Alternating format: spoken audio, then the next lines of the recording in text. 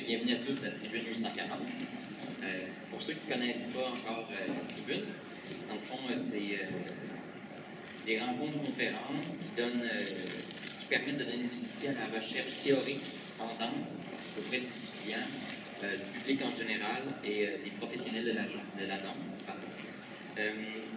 c'est aussi l'occasion aux étudiants qui sont au département de partager leurs réflexions et leurs travaux de recherche avec la communauté. Euh, Tribune 840 se présente donc sous la forme d'une série de cinq tables rondes comme celle-ci, euh, qui sont réparties à travers l'année académique, c'est-à-dire septembre jusqu'à décembre, janvier jusqu'à mars. On arrête là. Puis après, il y a la tribune Tribune qui est présentée dans le cadre du FTA, de cette année. Euh, si vous avez pris un programme, il est marqué à l'endos vous avez la date, toutes les informations euh. Euh, alors, c'est ça, c'est des tables rondes qui sont réparties sur l'année et qui sont ouvertes au public, qui sont sur euh, des thèmes vraiment spécifiques. comme aujourd'hui, notre thème, c'est les nouvelles technologies. Puis on va aborder en fait la question qui est quel, quel nouveau rêve et fantasme émerge de l'usage des nouvelles technologies en danse? Et pour répondre à cette question-là, on a invité trois panélistes. Euh, on en a juste deux, alors ça se peut qu'on ait seulement deux panélistes, mais dans l'idéal, on en a trois. Alors le premier, euh, ça va être Armando euh, Minacci, Minicacci. Le deuxième, Guillaume Arsenault, qui est dans l'Assemblée. Puis ensuite, on va voir peut-être Stéphane Gladizewski. Bon. Alors, sans plus attendre, je vais laisser la parole à Armando. Bonjour.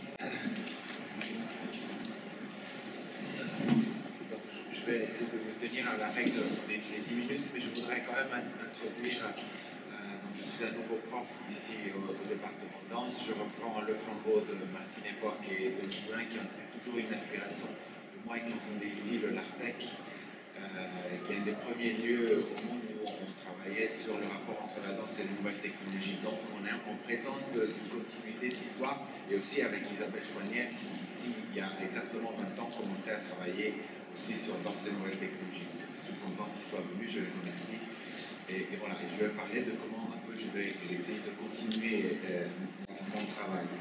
Je dédie mon intervention à la mémoire de Michel Bernard, qui est mort avant-hier, pour ceux qui ne connaissent pas Michel, un des plus grands philosophes et penseurs théoriciens de la danse. Il était mon professeur à Paris 8 et c'est lui qui écrit une de mes deux lettres de recommandation pour que je sois ici au département c'est vraiment une figure euh, que l'on n'a pas fini d'explorer. Souvent, on n'a pas commencé d'explorer. Ces textes ne sont pas très faciles à lire toujours, mais, euh, ils sont très importants pour nous. Alors, alors, alors, Donc, euh, je parle de rêve et fantasme parce que les technologies ont développé des possibilités, donc elles nous ont fait rêver, on, en a rêvé même dans la loi, mais aussi elles ont développé des nouveaux fantasmes. Alors je ne vais pas m'étendre ici sur la différence entre rêve et fantasme, mais on va essayer de dépatouiller un peu la question Donc, nouveaux rêves, mais aussi des nouveaux fantasmes. C'est-à-dire que par le biais de la technologie, on peut transformer plusieurs choses parce qu'on les transforme en tant on, leur change de forme. On va parler de ça, ce qu'on appelle dans les, dans, les, dans les théories du numérique l'isomorphisme du numérique. Mais tout d'abord, la question de la technologie, ça vient avant dans la question. On confond tout le temps technique et technologie.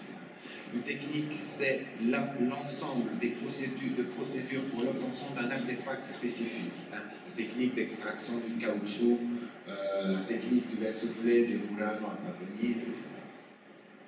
Une technologie, c'est une technique. Dans, la technologie, il y a techno et logos, techné et logos. Alors, ce sont deux mots extrêmement polysémiques, mais techné veut dire donc art, faire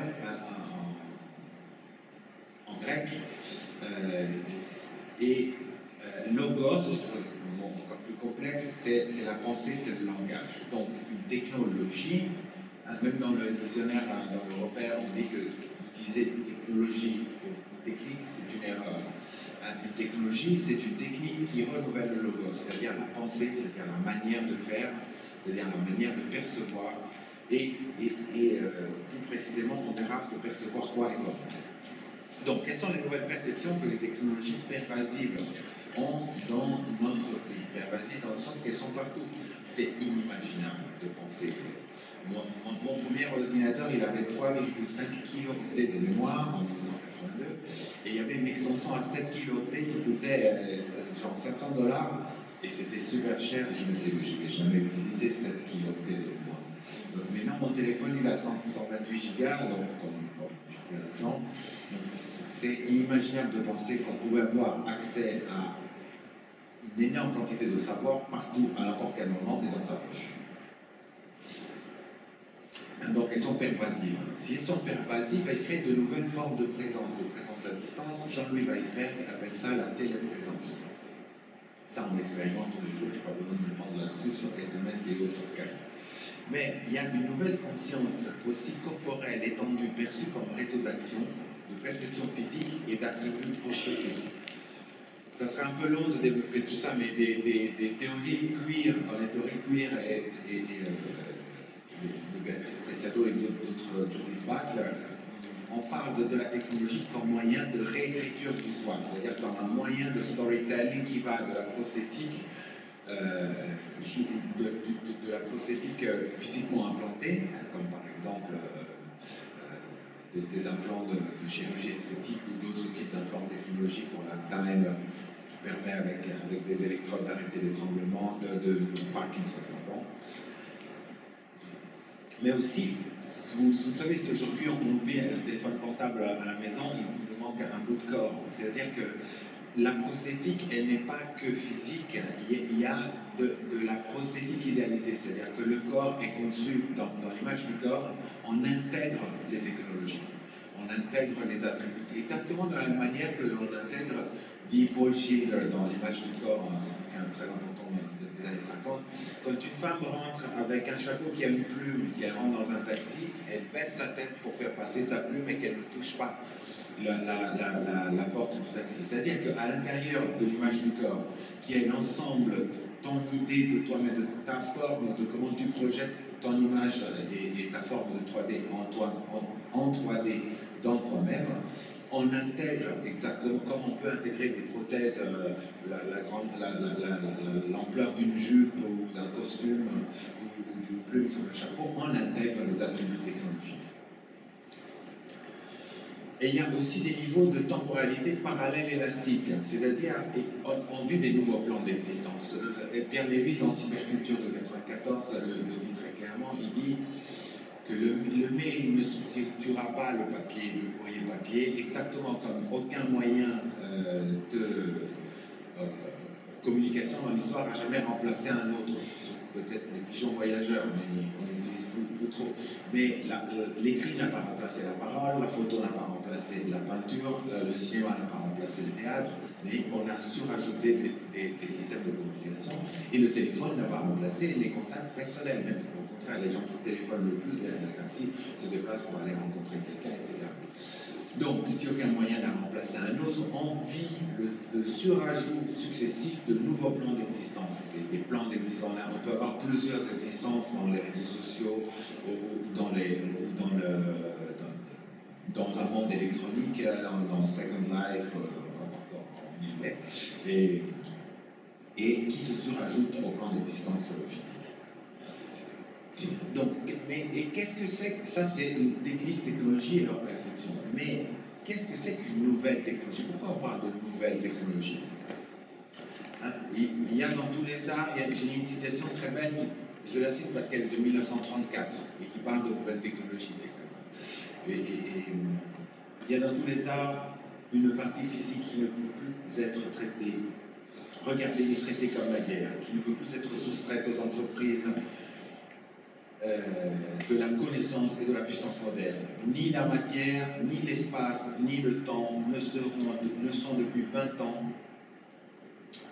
ce qu'ils étaient depuis toujours. Paul Valéry dans le nom de l'ubiquité.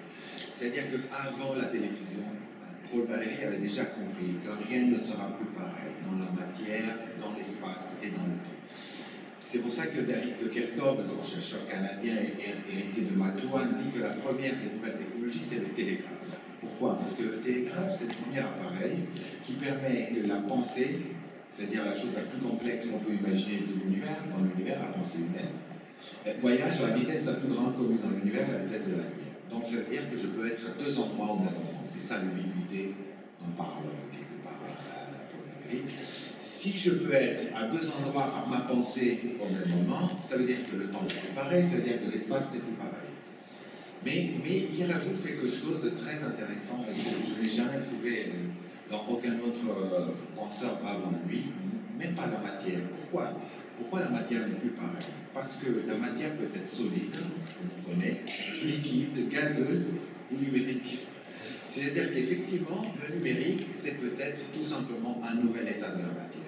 Du son, de l'image, du texte, tout peut être transformé en des zéros et des 1, qui est d'ailleurs point et ligne, c'est le même code binaire euh, quelque part que le morse, c'est-à-dire que le télégraphe.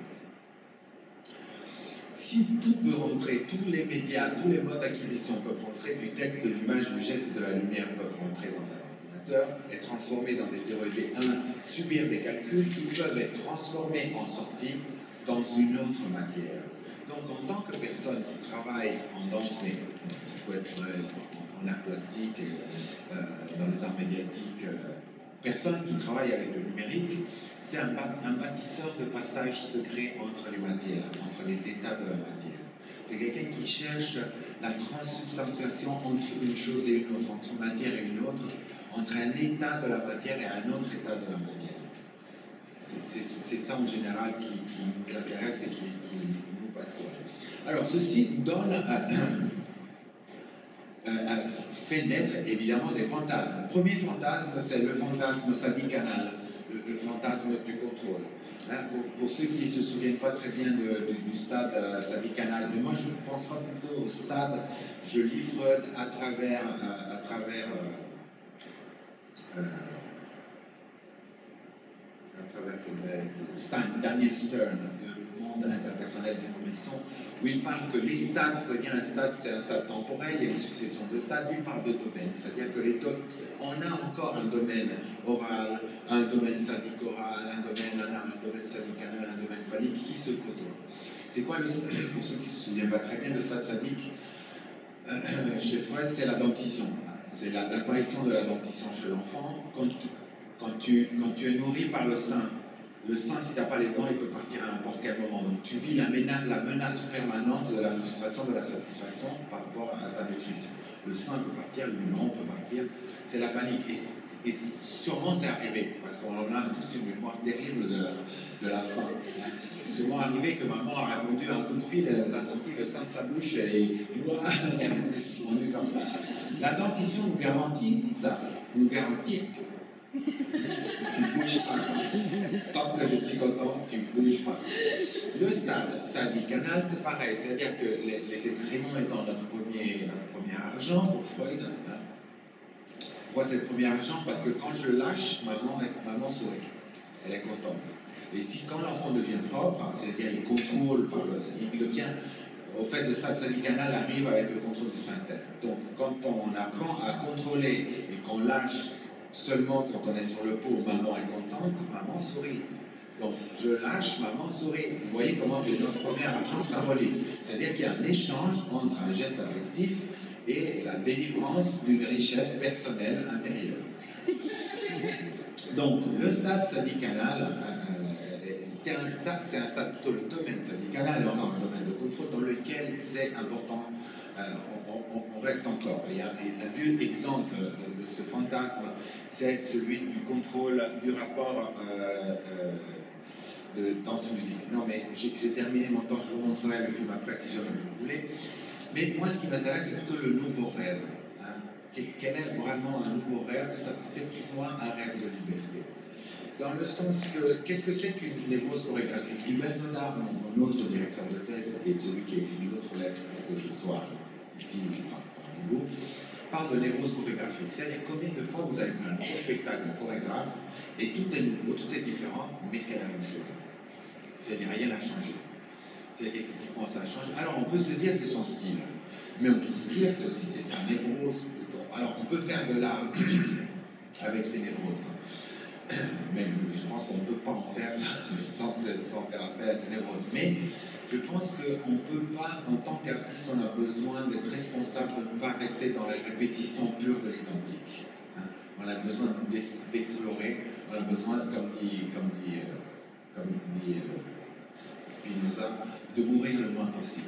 On a besoin de, de s'explorer au possible la partie expressive de soi. Donc, comment les technologies peuvent nous aider à explorer ça? Mais justement, par le biais de l'isomorphisme du numérique, le fait que tous les médias prennent en la même forme, donc tout devient 0 et 1.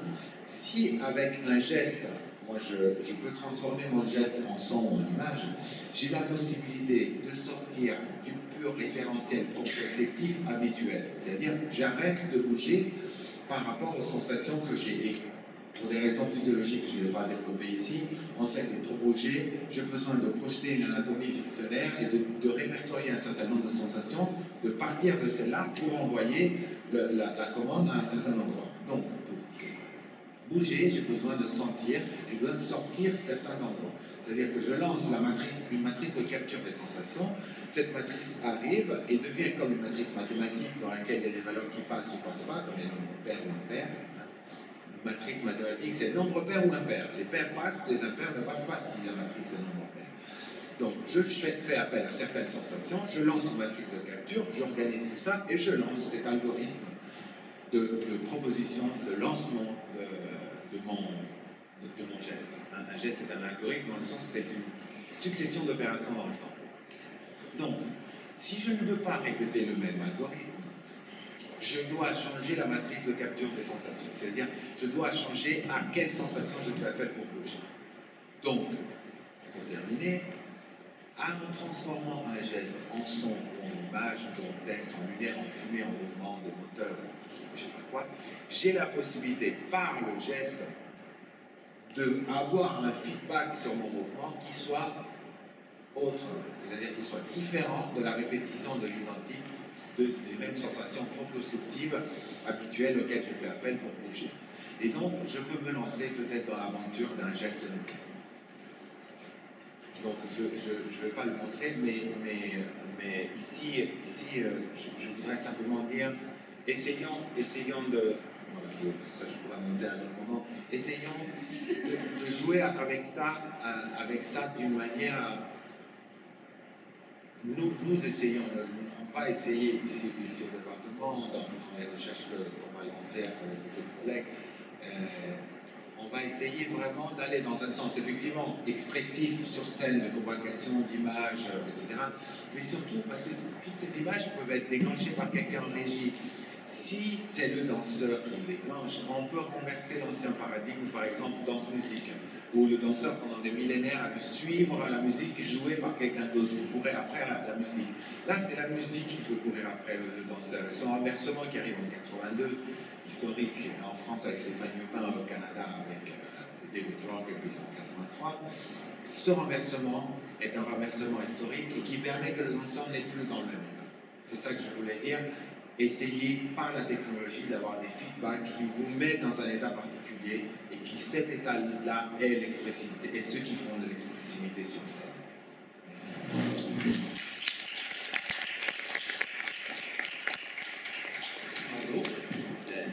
Guillaume Présentation.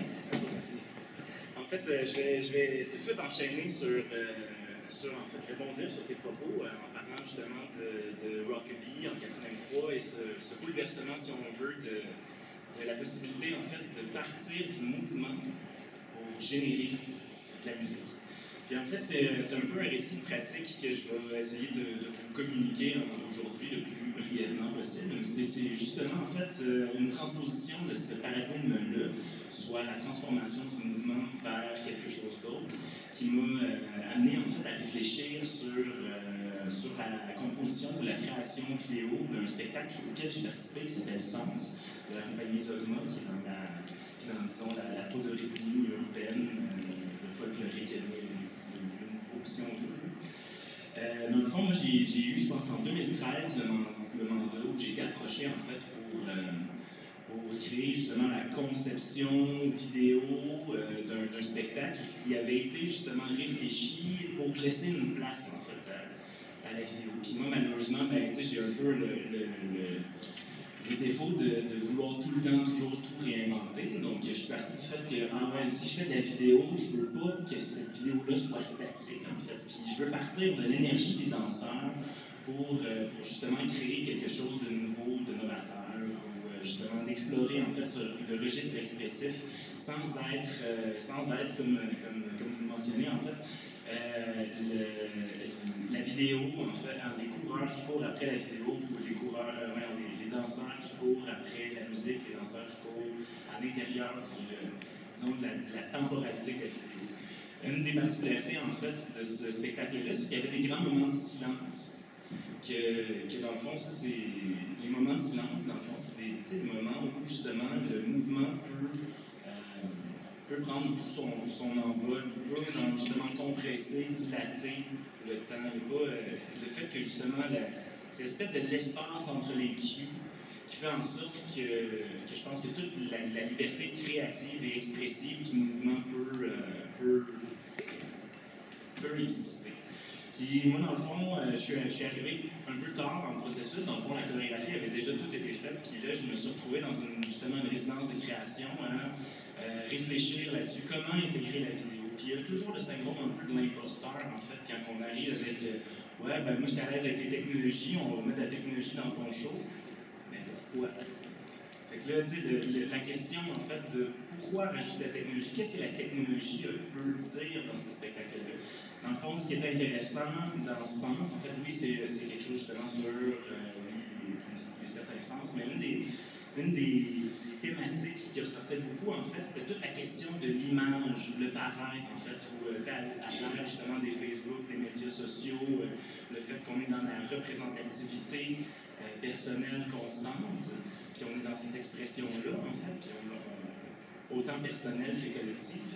Mais là, en fond, c'est ce ce persona-là que la vidéo est venue chercher, soit justement la, captation en réel, parce que j'ai décidé d'intégrer en fait, de, de, faire une performance de captation live et de retransmission sur, sur l'arrière-plan, et de travailler justement avec la notion de feedback pour, euh, pour multiplier en fait la présence des danseurs et de l'exposer à travers le temps, puis de travailler en fait avec le délai accumulé du vidéo pour, euh, justement voir à travers le temps la surimpression de plusieurs fois le même danseur, soit une maximisation, si on veut, euh, de la temporalité du mouvement. Mais ça, en même temps, il y avait une question aussi de, vu, de voir, de vouloir plaire, en fait. Tous ces, segments-là, en fait, c'est qui constituent un peu ma, ma trame, si on veut, d'écriture au point de vue technologique, parce que c'est quand même une, quand, on, quand on en arrive à, vouloir intégrer de la technologie, on, néglige souvent l'écriture technologique. Qu'est-ce que je vais intégrer comme technologie? Comment est-ce que je vais l'intégrer? Pourquoi j'utilise tel algorithme? Pourquoi j'invente tel, tel, tel ou tel logiciel? Pourquoi je place une caméra à tel endroit? Dans le fond, cette écriture technologique-là n'est pas enseignée presque, mais enseignée presque nulle part, parce que dans le fond, bien souvent, on va mettre l'emphase sur la technique. Va Parfait, excellent, excellent. On se, on se garde en lien, parce que justement, cette, écriture technologique-là, au, fait où, euh, justement, moi, je viens, du domaine de l'interactivité, des médias numériques, des médias interactifs, donc euh, des techniques, en fait, j'en passe beaucoup par année, disons, puis les, euh, les, les, technologies, si on veut, évoluent quand même extrêmement rapidement. Dans le fond, les systèmes de tracking, en 1980, et maintenant, la même chose. Et aussi, dans le fond, devient de plus en plus accessible. Mais que, fait, que fait-on, dans le fond, avec ça aujourd'hui? Dans le fond, c'est ça, je reviens à l'histoire de l'écriture technologique, c'est-à-dire que comment intégrer euh, ces, euh, ces, ces, différentes manières de faire, de créer de nouvelles images, en fait. Pourquoi on les met à l'intérieur d'une chorégraphie? C'est là que, justement, l'être, le paraître, le vouloir être vu, dans le cadre d'une caméra, ben, c'était un outil ou un artefact en fait qui était qui, allait de soi. L'utilisation justement de la projection vidéo, comme là, on a un écran, on a un écran, ça passe du, ça passe du contenu, etc. Mais là, c'est justement, l'écran peut à la fois devenir euh, le, décor, peut à la fois aussi devenir un personnage. c'est vraiment dans cette, euh, cette lignée-là, en fait, d'utiliser ce, ce dialogue-là, en fait, entre l'écran, entre, le derrière et, le devant. Euh, que, que je trouve qu'il y a quelque chose là à investiguer. C'est ce que j'ai, euh, en fait, c'est l'angle que j'ai cherché à, établir dans l'intérieur de sens aussi parce que, en fait, je pense que le playback me fait chier d'une, manière ou d'une autre. Là. Je trouve qu'il y y a beaucoup. Il y, a, beaucoup d'emphase qui est souvent mis justement sur OK, ben voici, voici la pièce, c'est statique. Puis après ça, dans le fond, la possibilité de faire des retouches est toujours en fait une, une toujours très lourd, en fait, quand on travaille avec la vidéo ou euh, même avec du son. En fait, la, question de retouche, ah oui, là, il faudrait qu'on rallonge de secondes, ah, il faudrait qu'on coupe là, ici, là.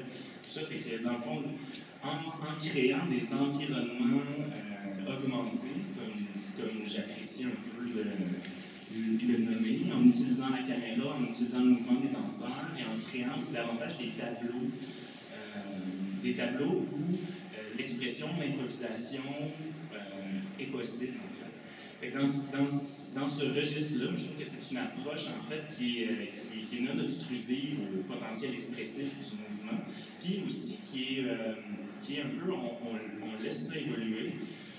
Puis c'est à travers, en fait, justement, c'est à travers le, le, mouvement que la, la projection évolue, que le son évolue c'est vraiment dans ces, euh, dans ces zones-là que je trouve qu'il y a quelque chose d'intéressant à explorer, que, bien entendu, à développer, euh, ça c'est cinq minutes, ça fait cinq minutes. Ah oui, ça fait cinq minutes. Fait que dans le fond, c'est ça, fait que de travailler en fait davantage en environnement, de travailler davantage ça permet en fond de, de, créer des, euh, des, des, espaces où les où danseurs et technologues, ou dans le fond créateurs de technologie ou artistes numériques peuvent collaborer en fait pour faire un meilleur show C'est ça l'objectif. Il y a plusieurs euh, formes ou figures, en fait, que hier je faisais un peu de recherche justement pour essayer de voir euh, où est-ce que j'allais m'emmener avec cette présentation-là. Je trouve qu'il y, a plusieurs figures qui ressortent, euh, notamment justement à l'utilisation, ben, parce qu'il y a des super belles utilisations du playback. Je ne vais pas dire que le playback c'est un je ne sais Mais il y a des super belles utilisations dans le sens qu'il y a une synchronicité parfois où justement musique, mouvement, projection vidéo ressortent euh, avec euh, une justesse qui, euh, qui est comme. Mais moi, personnellement, c'est pas mon approche que, je préfère. C'est clair que je, suis davantage dans le Ah ouais, il y, a du mouvement là, puis placer un algorithme de vidéoprojection, de captation, et laisser en fait euh, danseur improviser à l'intérieur de ça, et faire une espèce de processus itératif entre euh, justement la, la entre la chorégraphie, les improvisations, euh, le changement en fait de paramètres en Parce qu'il y a aussi ça, il y a cette dimension performative-là de la technique qui, peut être, euh, qui peut être faite. moi, c'est ce que je fais aussi. J'ai des petits euh, équivalents de des sliders, j'ai ma caméra, j'ai mes, huit paramètres que je me suis fixés après réflexion. Puis là, je filme, je peux bouger la caméra, je peux aller comme chercher le, feedback puis, dans le fond, moduler différents tableaux, en fait, euh, sur, sur ça. tout ça, ça se fait en temps réel. Étant donné qu'il n'y a rien d'enregistré, ça devient autant une performance de, faire, d'être sur scène que d'être à l'arrière-scène. Puis ça, c'est aussi une certaine forme de chorégraphie. Tu sens le show, tu, l'écoutes, tu le vois, euh, tu interagis avec. C'est, euh, c'est là que je trouve qu'il y, a un segment, en fait, qui est, extrêmement intéressant à explorer.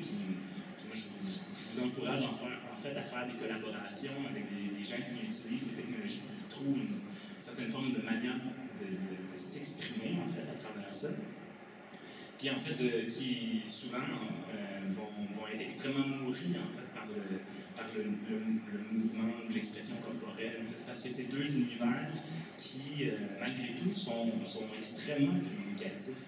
C'est euh, de, de, de, pouvoir établir un dialogue justement entre, entre technologie et euh, la dimension humaine proprioceptive du corps.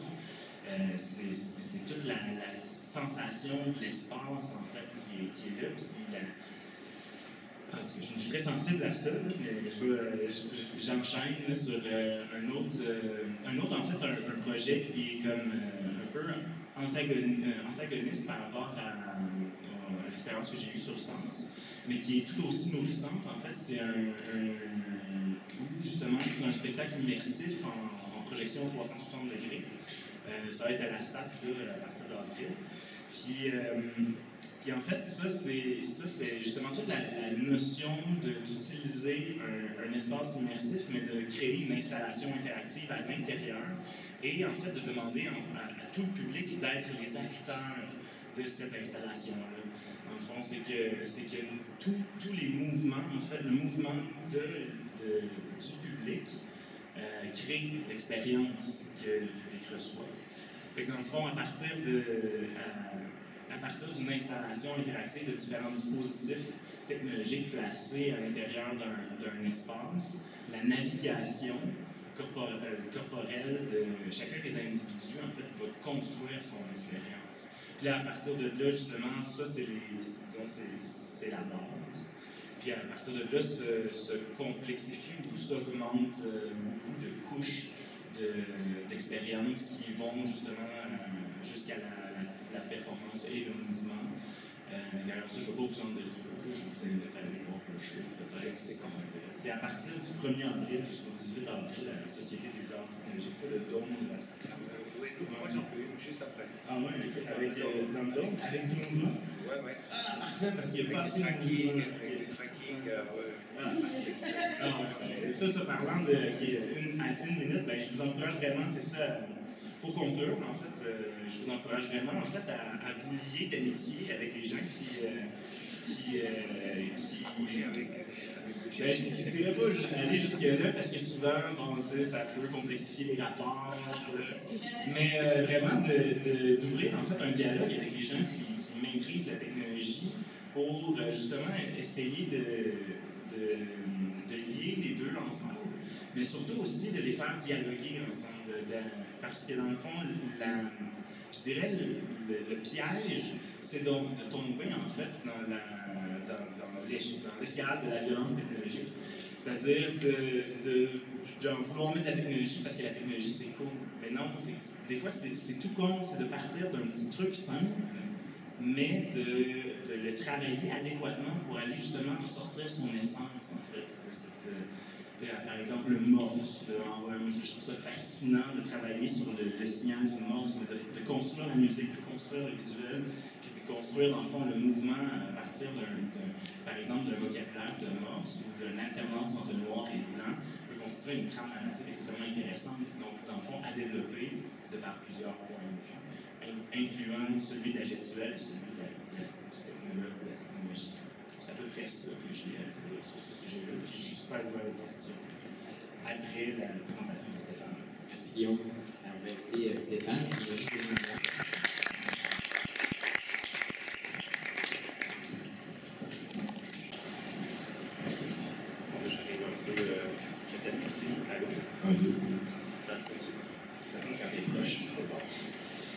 qui est rendu compte souvent parce que quand ça marche pas, ça peut être long, ça peut être fastidieux. Bienvenue au club. Ah oui, on est un grand club. Ouais. Euh, ben, pour situer un peu euh, où est-ce que je suis en rapport avec la technologie, la, pratique, tout ça, moi, ce qui me fascine, puis ce que j'aime, ce qui me fascine. Allô? je me sens bien du micro. ce, qui, ce qui me fascine, puis ce que j'aime à la base, puis ce qui m'a amené peut-être à travailler avec des technologies, c'est euh, la lumière, l'amour de la lumière, euh, la perception, les, les sensations. Euh, je suis allé vraiment reculons au départ, c'est venu aussi par nécessité plus que par plus que par désir de travailler avec des ordinateurs ou plein de euh, parce que, ben, d'une part, ça me rend dépendant d'un paquet de monde autour de moi. Ça me force à travailler avec travaille avec d'autres outils qui me ralentissent énormément dans tout le processus. Ça a changé le processus du tout au. Mais cela dit, quand même, euh, euh, ça me permet d'aller plus loin. Euh, c'est ça. Puis je travaille aussi, comme j'ai par nécessité. Je travaille pas avec la projection vidéo, la lumière, puis la perception visuelle. Au départ, c'était beaucoup pour régler des. donner de la liberté aux danseurs. pouvoir comme, projeter des corps, pouvoir projeter de la lumière, des images sur des corps en mouvement, arriver à euh, pouvoir donner un petit peu plus de liberté aux danseurs. Fait à partir de là, on a commencé à intégrer des caméras thermiques. Puis aussi, ben, ça permettait aussi d'aller encore plus loin, ben, de, de, révéler un peu ce qui n'était pas visible, de révéler euh, l'invisible. En l'occurrence, à ce moment-là, c'était plus des euh, zones thermiques. Puis aussi, ben, je trouvais que ça collait bien avec ma recherche, qui était un peu de, d'explorer cette zone du visible et de l'invisible, du conscient, de l'inconscient. Puis je trouvais que c'était comme un, bel alliage qui est à, qui de la main, euh, qui permet de passer à travers différentes couches, ou du moins qui me permettait d'essayer d'explorer différentes couches de la réalité, différentes couches perceptuelles. Euh, suite à ça, ben, il y a eu des projets, ce qui est, assez drôle, aussi, il y a des gens qui ont, comme exemple le dernier projet Tête à Tête, qui disaient, oh, wow, la technologie euh, vraiment finement ficelée, mais alors qu'il y avait juste un projecteur vidéo, euh, un projecteur euh, diapo qui était utilisé avec une diapositive tout, tout le long de la performance. Pour dire que des fois, ça, c'est que ce que j'aime avant tout, c'est de bien connaître l'outil avec lequel je vais travailler. Parce que je pense que ça, c'est la base. Euh, c'est la base de la réussite, je pense, là, de pouvoir comme. C'est un peu comme quand, euh, quand j'étais dans les Antilles, puis je voyais mon voisin qui lui avait une machette, et avec sa machette, il faisait tout. Il construisait une maison complète avec ça, il cultivait son champ, il, euh, il s'occupait de tout. Puis je me wow, c'est fascinant, juste une machette, à découvrir dans toutes ces, toutes ces mille facettes. Ben, c'est un petit peu comme ça que j'aime euh, m'approprier des objets technologiques avec lesquels je, travaille. Les amener encore plus loin pour voir qu'est-ce, que, qu'est-ce qui en ressortir. Travailler avec les, euh, tout ce que ça propose. Euh, suite à ça, ici,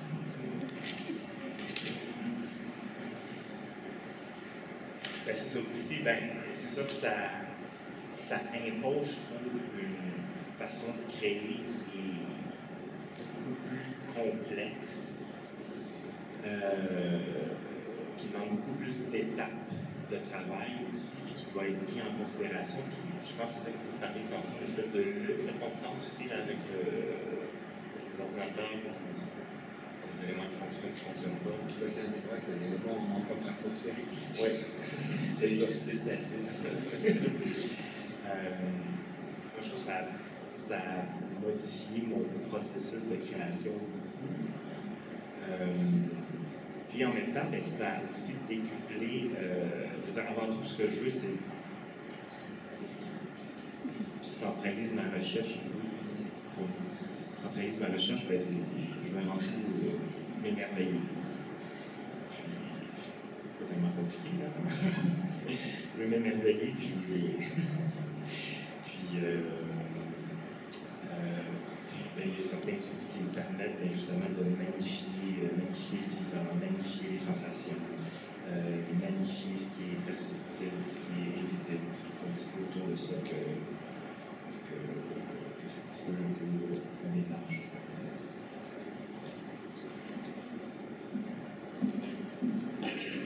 Proposer de commencer la période de questions.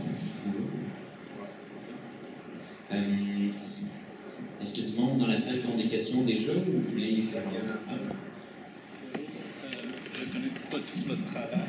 Euh, Juste euh, de l'arrêter 30 secondes, on a besoin d'enregistrer. Ouais,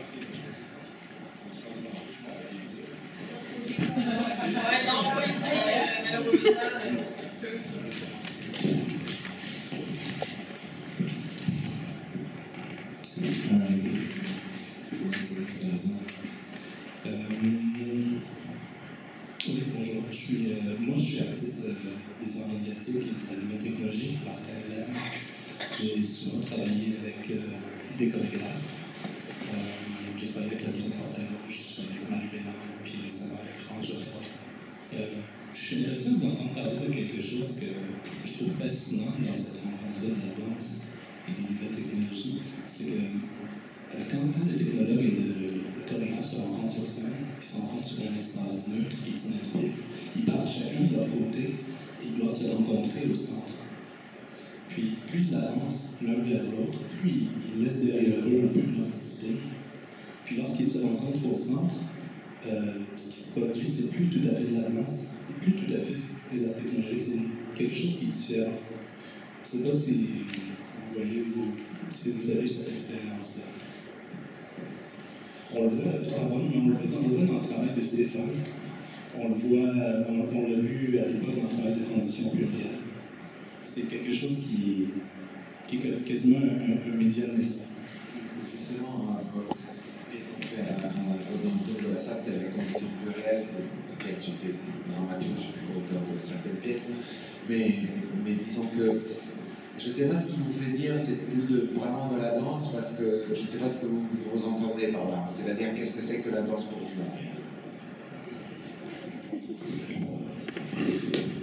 Ben oui, c'est déjà une question en soi. Mais euh, Non, mais quand vous avez dit c'est plus de la danse, c'est que vous avez la réponse. c'est pas tout à fait. C'est tout à fait. Dirais qu'on abandonne certains éléments pour en trouver de nouveaux. Il y a une, œuvre qui devient hybride. D'accord. Mais, justement, moi j'ai. euh, j'ai dédié la, la- la- mon intervention à Michel Bernard parce que lui, il a défini qu'est-ce que c'est que la danse. En fait, quand on parle de danse, on confond toujours la danse et une danse. C'est-à-dire, euh, tu dis ta danse, c'est quoi ta danse? C'est la danse que tu es en train de faire là maintenant, c'est du flamenco, du katakali, ou c'est ta danséité Parce qu'il n'y a pas, en théâtre, il y a théâtralité, en musique, il y a musicalité, en danse, il n'y a rien. Donc Michel Bernard, comme il a réfléchi à ça, et c'est une question qui a à voir avec les technologies. Pour Michel Bernard, c'est un état de, c'est un- état de la sensibilité réglé selon quatre, euh, systèmes. La densité, je ne vais pas rentrer dans les détails, mais le plus important de tous, qu'on trouve beaucoup plus en danse qu'en théâtre, c'est euh, euh, un état auto-affectif et réflexif de la sensation sur elle-même. C'est-à-dire que en danse, quand il y a un texte imprimé, la corporité est hétéro-référée. C'est-à-dire qu'il y a un texte qui fait que je ne peux pas dire je t'aime, mais je te mets un doigt dans le nez. Sinon, le public rigole. Euh, Il y a un qui ne va pas entre. Il y a, un, corps qui n'est pas en adéquation avec quelque chose qui lui est extérieur. En danse, dans la, dans, la densité, au fait, là, le jeu auto-affectif et réflexif de la sensation sur elle-même, c'est lui qui est le texte. Donc, en fait, on n'est plus hétéro-référé, on est auto-référé. Grâce à l'isomorphisme numérique au capteur, etc. Par exemple, quand je fais de la vidéo pour un, temps réel, pour un spectacle sur scène, dans le dos de la salle comme on est, on- fait quelque chose qui est en réaction par rapport au corps, donc il y a une espèce de dramaturgie de l'interactivité qui fait que le corps, propage son geste. Grâce à des capteurs en tracking, là on a mis des téléphones, et tout ça, ça réaffecte la corporité. Donc il y a une espèce de, fait rétroactif de boucle, et c'est dans cette boucle-là qu'on est au, cœur de la densité. C'est-à-dire c'est ce jeu auto-affectif et réflexif qui passe par une propagation dans les médias, mais qui revient et qui retourne du coup, on la quitte jamais la danse. Dans l'interactivité, pour moi, pour aller très vite, même dans la- dans- l'environnement d'une installation interactive, il faut l'analyser, le composer avec des savoirs du spectacle vivant. C'est-à-dire une installation interactive, c'est du spectacle vivant avec un environnement théâtral, théâtral dansé et médiatique euh, qui, qui se, qui, qui- qui se- mélange. Donc je ne sais pas comment ta pratique c'est, parce que moi j'ai hâte de voir ton travail. mais je pense, que je point, ce qui est intéressant, c'est ça, c'est vraiment de s'approprier euh, les éléments, les outils. Tu sais, toi, tu parlais de la rencontre du euh, chorégraphe. Je pense que c'est vraiment là que ça se passe aussi souvent. Où, quand les deux sont capables d'avoir un pied dans le champ de l'autre, ou avoir assez comme de compréhension du domaine de l'autre pour pouvoir vraiment se rencontrer, que je comprends juste assez c'est quoi les possibilités qu'il est capable de faire, lui, avec son ordinateur, puis que lui, il sait euh, qu'est-ce que je veux faire au niveau corporel, au niveau sensitif, puis que les deux, on peut se marier ensemble, puis qu'il peut me proposer des choses qui sont vraiment euh, dans ma réalité, puis que moi, je peux orienter mes demandes aussi en conséquence, en comprenant, bien, lui, c'est quoi ces possibilités? Là, il y a vraiment un mariage qui peut se passer. Là, après ça, bien, il y a une appropriation, tu sais, je dois il faut vivre avec l'élément, il faut vivre dans l'espace. Moi, je pense que c'est un petit peu comme ça que ça se passe, c'est d'habiter un espace avec, peu importe ce que, ce que j'utilise, des senseurs, une caméra, aussi avec ça, puis de, me projeter à l'intérieur, de vivre dedans, d'explorer, de, de comprendre comment ça réagit. Puis après ça, ça, change toute ma façon d'être, ma façon de bouger. Par exemple, il y a des choses, si tu tout le temps close-up avec une caméra, mais ça va changer tout ton jeu tout le temps. Euh, puis, ça, ça, va avoir un impact direct sur la façon de, de l'habiter, puis après ça, ben, comme je disais, de se projeter à l'intérieur. Euh, moi, j'enchaîne aussi dans ce, juste, juste avant la question sur c'est une sensibilité technologique en fait qu'on développe euh, entre justement danse et euh, peut-être les nouvelles technologies, les nouveaux médias, tout ça, mais en même temps, les nouveaux médias, je trouve qu'ils sont encore en recherche, en quête de se définir, ou quoi que ce soit.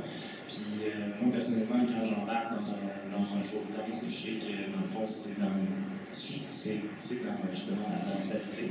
Je, vais essayer d'utiliser ce terme, je le trouve beau. Puis dans le fond, je pense qu'on on continue, en fait, on, continue ce mouvement-là, puis on, augmente en fait l'environnement et la dimension justement rétroactive en implantant de la technologie. Mais c'est sûr et certain que ce, chemin-là, en fait, il, se fait, OK, j'en prends sur moi, prends-en sur toi, puis on, on échange là-dedans. Je trouve que cette communication-là, ce rapport de sensibilité à l'autre est, très instructif et très intéressant, justement, dans le processus de régulation, en fait, de technologie et les, euh, arts du mouvement la danse. Là, en même temps, ça pose toute la question à travers euh, l'hybridation, danse, danse, théâtre, théâtralité, nouveaux médias, tout ça. Je pense que je ne sais pas si ça. Je serais curieux, en fait, qu'on lance ça comme débat, mais, mais peut-être pour une autre question. Euh, reprendre un peu ce qu'Armando a commencé à, développer puis enchaîner sur des interventions par rapport à la, le mix entre la danse et la technologie. Mais en fait, qu'est-ce que la technologie amène comme nouvelle expérience au corps pour faire avancer la danse? En fait, par rapport à ce que disait Armando euh, au discours gouvernement, l'auto-organisation, l'auto-référencement c'est que je pense que la technologie maintenant, lorsqu'on expérimente avec le jeune dansé, avec l'état du corps, ça le met dans un nouvel environnement. Ça devient ton nouvel environnement, ça devient une nouvelle fiscalité. Ça veut dire que ton rapport sensoriel à cette extériorisation-là va changer ce que tu vis à l'intérieur de toi, ta proprioception, va générer une nouvelle référence sensorielle dans le discours de Bernard, le discours de, de Merleau-Ponty, pour, pour que au performeur et au public, parce que souvent il y a diversi, ça devienne une nouvelle référence sensorielle, euh, sensorielle donc une nouvelle réalité. Puis en termes de fantasme, qu'est-ce que la technologie peut amener ici par rapport à comment on va faire évoluer notre corporalité, comment l'évolution de cette corporalité-là va pouvoir nous amener à expérimenter d'autres états de corporéité. C'est vraiment comment cette technologie-là va devenir un nouvel environnement, donc un nouvel état d'apprentissage, qui est un des principes de la somatique. Comment, en expérimentant une réorganisation sensorielle, parce que ta référence à l'extérieur va devenir médiée, parce que ton air, elle vient de la vidéo, elle vient du son, traverse le corps, donc tu as une nouvelle référence sensorielle, donc tu as une, nouvelle référence à cette autre réalité-là. Ça veut dire que ton corps va changer, va s'adapter, va réorganiser sensoriellement ton intérieur. Ça veut dire que tu es dans un état d'auto-organisation du corps, qui est l'autonomie sensorielle, des principes somatiques, puis que tu t'investis ça dans vraiment un geste créatif qui va t'amener à développer d'autres types de gestes qui te sortent de la névrose chorégraphique, qui t'amène à réfléchir ta structure chorégraphique quand je dis structure chorégraphique, j'inclus aussi comment tu es en lien avec les médias, ton son créé en réel, ta vidéo créée en réel, qui devient partie de ton expressivité. Donc, euh, et, et tous ces principes-là vont t'amener à générer d'autres types de communication avec le public. Donc, le troisième chiasme de, de Merleau-Ponty, qui va développer une intercorporalité. Ça veut dire que tu vas communiquer entre les, entre les danseurs autrement. Tu communiques aussi avec le public autrement. Donc, tu es en train de réinvestir un paradigme esthétique parce que tu es en train de renouveler ton geste, tu es en train de renouveler ta structure. Tu es aussi dans un nouveau paradigme expressif, communicationnel, puis un autre paradigme euh, cognitif parce que tu es en train de revaloriser l'intelligence physiologique qui devient le leader dans tout ce métier-là au niveau des intelligences. Donc, la technologie, au niveau du fantasme, comment la technologie va t'amener à créer des nouvelles choses, ben, c'est vraiment dans l'approche que tu as de la technologie qui n'est plus en dichotomie ou en dualité avec le corps. Je pense que pour ça, il faut quand même symboliser. Ça, ça, dépend, ça dépend. Parce que, parce que simplement, par exemple, moi, je, je veux des spectacles où il y a. Là, là on confond beaucoup de techniques et technologies. Je, je, je pense qu'il faut revenir un peu à cette distinction. C'est pas parce qu'il y a une caméra, c'est pas parce qu'il y a euh, de la vidéo qu'on est dans de la technologie. C'est pas parce qu'il y a une, diapositive qu'on est dans de la technologie. Ça, c'est des techniques. les technologies sont des techniques qui renouvellent le logos. C'est-à-dire qu'on peut utiliser, c'est ça, c'est comme ça que tu les utilises et comme ça que tu les as décrites. Mais en réalité, on peut faire un usage de la vidéo au théâtre comme si c'était de la pellicule, comme si c'était du cinéma, comme si c'était au début, c'est-à-dire quand ça arrive en 1923 avec euh, les palais suédois, la cinéma sur scène. Donc, on peut faire, même aujourd'hui la vidéo n'est que, que, numérique, mais on peut faire un usage analogique de ça, c'est-à-dire on peut le penser exactement comme du linéaire, du non-intervention. Tu ne peux pas intervenir, ça part pas des danseurs, il y a quelqu'un en régie qui fait play. Et ça, ça peut générer de la super poésie de la mort du tube. C'est-à-dire, moi j'ai de Castellucci, de Jules César, je ne sais pas si vous avez vu. Vous voyez qui c'est Romeo Castellucci? Il, vient, il vient ici, non Romain Castellucci, il a fait Jules César. Jules César, c'est une pièce de Shakespeare qui est sur la puissance de la rhétorique, de la voix, de la capacité de Antonio à faire la louange dans, dans, la même tirade, la louange de César et la louange de Brutus qui viennent juste de le tuer et qui est son fils. Et il arrive à s'en sortir avec une puissance. Euh, donc, Romain Castellucci fait une pièce sur la voix, c'est la puissance de la conviction, de la rhétorique, etc. La rhétorique comme l'art de la disposition du discours. Et au départ, on voit une espèce d'un truc, il y a, a quelqu'un qui fait une tirade, quelqu'un en faisant ce geste-là, et on voit, il y a un tunnel euh, qui avance. Au bout d'un moment, on se rend compte que cette personne elle est en train de mettre une micro-caméra dans le nez qui descend dans le larynx et qui filme ses cordes vocales. C'est-à-dire que là, c'est une caméra on le peu plus traditionnelle, manipulée vraiment quelqu'un sur scène, mais ça, c'est pas une nouvelle technologie, c'est des techniques. Une technologie, c'est vraiment quand quelqu'un, quand tu veux utiliser une caméra thermique pour parler du conscient de l'inconscient, je peux vous donner ta, manière de le décrire, elle est très proche de la mienne quand, je fais mes pièces ou je travaille dans les pièces des autres. C'est-à-dire de travailler quels sont justement les passages secrets entre les états de la matière, cette métapsychose de, ce numérique comme état de la matière, celui gazeux, liquide et numérique. Hein.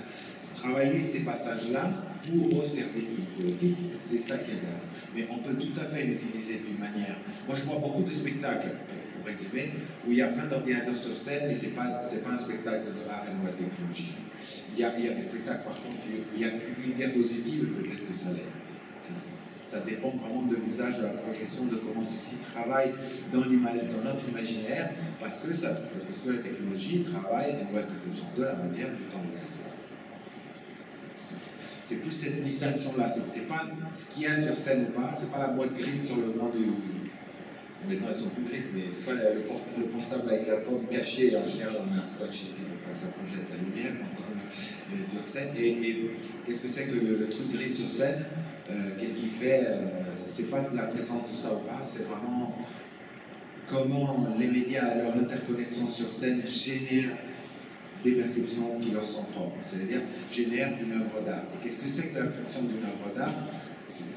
Pour Alain Raprier, c'est très simple, c'est quand? Une pièce, c'est pas les, une œuvre d'art n'est pas une défense, une illustration d'une pièce, une idée aussi bonne soit-elle, c'est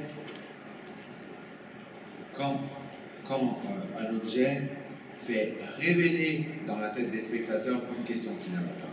Euh, qui est, qui est, c'est ça la définition d'Alain Rompré. Donc, il y a des pièces qui fonctionnent comme des œuvres d'art avec la technologie. Il y en a qui fonctionnent sans. La danse, va oui, le théâtre ont besoin de technologies pour exister. Ils existeront après la fin des nouvelles technologies, si un jour ça arrive. Mais, mais par contre, la poésie, non, la poésie, elle. Ça soit fait ça pour ne pas.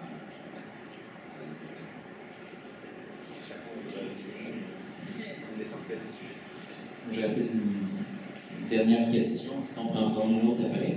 Euh, je me questionnais, euh, parce qu'on sait que la technologie, justement, ça l'amène à un nouvel état. Je pense que ça l'amène aussi chez le spectateur. Puis euh, je me questionnais justement à savoir euh, si, par exemple, on reprenait une pièce purement traditionnelle sur scène, mais qu'on invitait le public dans un nouveau mode de perception issu des arts numériques, est-ce que ça, leur, ça créerait justement une nouvelle esthétique ou euh, un nouveau regard, une nouvelle perception de l'œuvre, étant donné qu'on sort complètement des, euh, de notre perception qui est culturalisée, socialisée? Toi, tu dis si on crée une pièce actuelle, actuelle avec. Euh, ben, en fait, en fait, c'est comme, une réflexion, je ne peux pas, l'imaginer parce que c'est pas vrai. Euh, par exemple, de, de, simplement prendre quelque chose qui existe déjà, parce que souvent, ce qu'on a tendance à faire euh, en art et nouvelle technologie, c'est qu'on on crée quelque chose de complètement nouveau sur la scène, puis c'est ce qui crée un nouvel état d'immersion chez le spectateur, mais est-ce que ce serait possible justement de faire complètement l'inverse, c'est-à-dire euh, d'aller sur scène quelque chose qui est déjà connu, qui a déjà ses références culturelles pour le public, mais en changeant euh, la perception du public via les arts numériques, est-ce que ce serait possible de changer complètement la perception de la pièce? Ce que je me rends compte, c'est que souvent, chez le public, euh, les gens sont pourtant essayer de comprendre souvent ce qui se passe. Ils veulent comprendre souvent comment ça se passe. Pas s'accrocher à ça, ou ils peuvent complètement l'abandonner puis s'abandonner dans l'expérience qui, qui, est proposée. Je ne sais pas quoi ça tient. Ça tient des fois à la, à, la finesse de l'alliage qui, est créé entre tous les, les éléments. Euh, mais,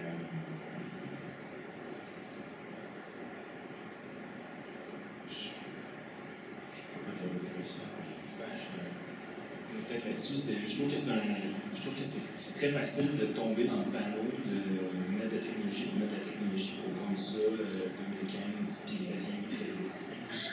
Donc, dans le fond, c'est un peu ça, c'est que, que, dans le fond, quand la technologie s'inscrit dans le discours, en fait, la création artistique, dans le fond, elle, est là pour quelque chose, elle est là pour justement créer un, certaine forme de dialogue entre sa présence et son utilisation, son usage, et euh, justement sa, mise en scène. Dans le fond, si, euh, si on, tu sais, comme dans la danse, il y a plein de codes qui sont là, qui, sont préservés, qui existent, puis que dans le fond, euh, si tu fais juste mettre la technologie dessus, ben, tu obscures, tu rends obscur quelque chose qui est beau pour soi. Dans le fond, moi, je, moi, je dirais que c'est apprendre avec des pincettes, c'est vraiment genre faire attention fondamentalement au, piège en fait, que ça implique de, de mettre ça comme de la tapisserie sur un mur, puis de dire c'est c'est pas ce, que j'aime dans l'intégration, par exemple, si on parle de, de l'image, moi c'est un peu plus ça que je connais, c'est de, de pouvoir creuser et approfondir toutes les étapes de, les étapes d'image. Il va y avoir, il va y avoir comme la captation, le travail, la, modélisation, l'élément graphique, la, euh, la projection, l'interaction avec euh, l'image va venir de, de quel type de médium aussi, ça va être euh, au niveau euh, plastique, euh, vidéo, euh, cinématographique, puis de, suivre tout le, tout le, le fil qui, va venir comme de la source jusqu'au au résultat final, puis pouvoir intervenir ben, à tous ces, tous ces niveaux-là. Puis, euh, je pense que les technologies en ce moment permettent justement de pouvoir aller jouer à toutes les étapes de création de façon peut-être plus fluide, mais d'avoir un, alliage, comme. La, la difficulté par rapport à ta question, c'est aussi que, que les gens ont des habitudes. Et ces habitudes créent un horizon d'attente.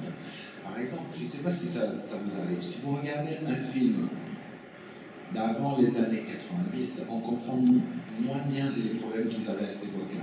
Parce qu'il n'y avait pas de téléphone portable. Il y a souvent un problème, hein, tu n'as pas, reçu l'appel, tu n'étais pas au rendez-vous, euh, alors que les gens s'envoient des billets, s'envoient des...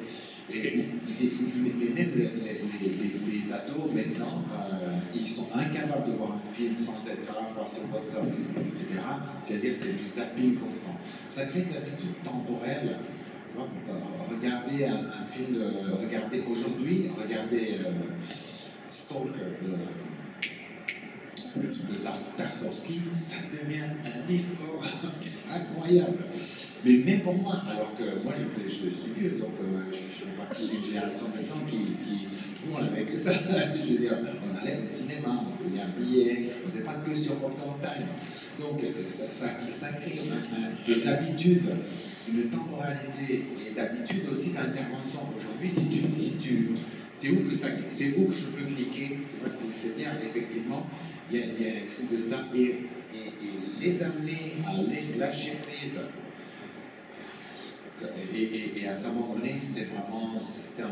C'est ce qu'on fait dans une mise en scène. Ta question tourne autour de la mise en scène. Moi, ce que j'aime, c'est quand on m'enlève de la scène. J'aime les enleveurs de la scène plutôt que des metteurs en scène. C'est-à-dire des gens qui, qui, qui laissent un texte euh, dire ce qu'il a à dire, parce qu'un classique comme ou Calvin a une œuvre qui n'a jamais fini de dire ce qu'elle a à dire. Donc, j'ai- j'ai- J'aime bien quand on pense que c'est l'œuvre qui parle. Peut-être que je vais ma question. Pour l'enregistrement. Parce que dans le fond, ce que je, ce que je me demandais, c'est, tu sais, mettons, je- j'essaie de penser pour essayer de quelque chose, parce que tu parlais qu'on essaie de plus en plus d'intégrer la technologie à travers toutes les étapes de création, mais au niveau de la, de la présentation, est-ce qu'il est toujours, est-ce qu'il est possible aussi d'intégrer à toutes les étapes de la présentation la technologie? Par exemple, euh, sais, mettons, je prends un show rock ou n'importe, quel show, en fait, c'est que maintenant, il y a une habitude sociale, c'est créé que tous les jeunes ont leur jeunes. Tout le monde a leur téléphone, puis ils filment le spectacle, puis ils se font des euh, selfies. Mais tu sais, d'intégrer la technologie, d'un coup, à, une section du spectacle, ça, ça ferme toutes les cellulaires de tout le monde. Je sais pas. Ça crée une interférence. Je sais pas. Tu sais, c'est possible. Techniquement, c'est possible. Je voudrais apporter un commentaire qui pourrait devenir une question. C'est par rapport à la place que la technologie occupe. On dirait que la technologie devient une finalité. Personnellement, j'ai toujours été impliqué en danse et technologie, particulièrement par la danse élégante. Puis ma volonté, ça a toujours été de bousculer les perceptions. La technologie devenait comme une espèce de médiation vers autre chose, une autre façon de voir. Alors, à chaque fois qu'on parle de nouvelles technologies, on, on le voit comme presque une finalité. Ça, ça me, ça me, ça me convient pas comme, comme approche. Euh, effectivement, la diapositive qui peut devenir un médiateur d'une autre façon de voir par rapport à une, une utilisation trop complexe d'ordinateur qui mène nulle part, mais il y a une volonté de déstabiliser la perception. Je pense que c'est euh, la première demande de, de technologie. J'aimerais finalement qu'on trouve un autre terme à technologie et surtout pas nouvelle technologie. Je suis entièrement d'accord avec ça, parce que que j'avais le même euh, genre de, pas de discours, mais de point d'interrogation. Euh, il y a eu un manifeste des nouvelles écritures qui est sorti récemment, l'année passée, il y a deux ans. Là, je me disais, ah ouais, mais tu sais, qu'est-ce qu'il y a de nouveau dans les nouvelles écritures qui justifie un schisme de comme 3 000 ans d'héritage. Donc, euh, et, et, plus encore. Donc, euh, à, ce point de vue-là, je pense que je suis vraiment d'accord avec, euh, les propos de Stéphane, du point de vue de révéler l'invisible que la technologie peut justement pallier, c'est qu'il y a des choses en fait qui sont justement qui, sortent de, de notre, de nos sens en tant que tel, au point de vue visuel, au point de vue auditif ou cognitif, que dans le fond, la technologie nous permet de mettre en, de mettre en relief je travaille sur une présentation justement aujourd'hui. Ces temps-ci, c'est sur les ondes électromagnétiques en fait, qui, circulent partout, Wi-Fi, Bluetooth, euh, ondes radio, euh, ondes, ben, l'ensemble des ondes électromagnétiques. Puis c'est quelque chose en fait que justement on ne peut pas percevoir, mais qu'on ne peut pas, on peut pas entendre, qui sont du registre justement des, des ondes, donc on ne peut pas voir, que ce n'est pas de la lumière parce que le spectre de la, de la lumière est extrêmement restreint. Mais le fait justement d'utiliser de, des processus de sonification pour, euh, pour, justement de visualisation de data pour justement rendre cette, euh, ce phénomène-là, en fait, parler de phénomène, de le rendre dans le spectre du visible de l'audible, ben, ça permet de faire justement une médiation technologique entre l'invisible dans le cas justement de la danse à l'écran, ben, c'est le point de vue en tant que tel. Le point de vue du, spectateur est actuellement fixe, le point de vue de quand il regarde un spectacle. Avec euh, l'introduction justement de la caméra de l'enregistrement, ça permet aussi d'avoir la multiplicité en fait, du point de vue de toute l'écriture dans le montage, en fait, les gros plans, les, euh, les plans plus larges, euh, justement l'absence, le, le, clair-obscur, la variation, tout ça. Donc c'est tout des.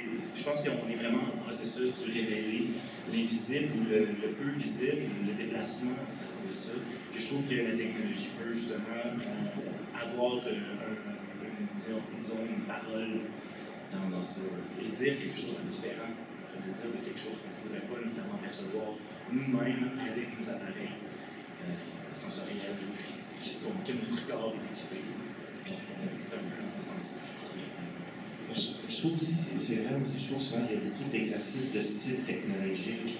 Mais en même temps, j'ai l'impression qu'on souvent n'a comme pas le choix de passer par là, parce que tu apprends à dialoguer des fois avec une, machine, alors que tu parlé avec tes mains, ta bouche, ton corps, vie. Tout d'un coup, tu veux comme passer par ce filtre-là, de passer par là. Fait que part, ça a comme son rôle, je pense. Au début, moi, j'étais un peu, mais souvent, les, tout l'exercice de style technologique que je comprends pas pourquoi c'était présenté comme ça. mais ça, ça a quand même sa raison d'être pour démystifier une façon de faire, un élément technique, une, une, une zone inconnue, une, en fait, une, je sais pas, une technologie, ouais, quelque chose avec lequel c'est qui émerge, et qui permettait de, de, l'introduire dans le fond. Puis pour ça, je trouve ça le fun, c'est qu'il y comme les arts la science ensemble, c'est que l'un parle à l'autre, souvent, euh, puis se répondent, puis l'un augmente l'autre. Puis aussi, aussi, je me disais, au nouvelle technologie, souvent je me disais, une nouvelle technologie. Je suis une nouvelle technologie. Je me mais qu'est-ce que c'est une nouvelle technologie? C'est le nucléaire, c'est l'astrophysique, c'est loin, je suis dans le tout le temps dans les anciennes technologies. Ben, si je peux là-dessus, moi je pas donner qu'il y a de nouvelles technologies pour moi, parce qu'elles n'arrêtent pas de se C'est-à-dire, c'est il ne faut pas penser qu'une nouvelle technologie, c'est euh, le nucléaire ou le, téléphone portable, etc. C'est tous les processus dans lesquels, euh, par le biais de, codification, il y a un accès, une transformation, une ubiquité, une, construction de couches temporelles, physiologiques. Toi, tu parlais de, ce vieux fantasme de l'augmentation du corps par la technologie. Percevoir l'infrarouge, percevoir l'ultraviolet, percevoir les, les, les sons gamma, etc. Mais euh, ce, ce, vieux fantasme qui devient une nouvelle réalité, de percevoir l'imperceptible, ou montrer ce qui ne peut pas être monté, ou rendre audible ce qui n'est pas audible, va de pair est rendu possible grâce à des techniques. Mais les technologies restent nouvelles quand elles continuent et n'arrêtent pas de renouveler notre perception du temps, de l'espace et de la matière. Donc je crois qu'on peut encore utiliser nouvelles et qu'elles seront toujours nouvelles si elles seront en mesure de renouveler ça, c'est-à-dire si elles seront en mesure vraiment de, transformer cette perception de spirituelle, de l'autre, de la relation, de, de la poésie.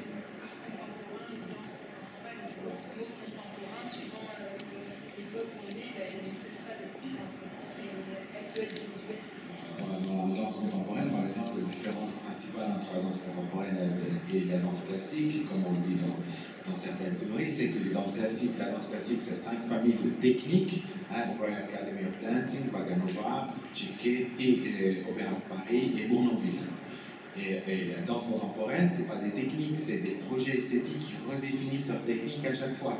Donc, euh, donc c'est là qu'on rentre dans quelque chose qui est de l'ordre de la possible, du possible élément du technologique, parce qu'une technique, elle, elle, elle, elle, est capable d'arriver jusque-là, d'arriver jusqu'à la transformation de la perception de, de, l'espace, du temps, de, la matière, de l'autre, de la relation. Donc je crois qu'on peut encore garder cette, cette, distinction, ou alors il faudrait vraiment enlever danse contemporaine. Vous pensez que la danse contemporaine, c'est la, pensez que c'est la danse qui se fait en même temps qu'une autre danse, elle est contemporaine, pas, au, sens, euh, au sens historique, c'est au sens chronologique. Sinon, le Cirque du Soleil, c'est de la danse contemporaine. Lui, on regarde. Parce qu'elle est contemporaine, elle est faite maintenant. Je pense qu'on peut conclure là-dessus. Euh, J'aimerais remercier euh, Armando Minikacci, Guillaume Arsenault et Stéphane Latusevski, qui sont ceux qu'on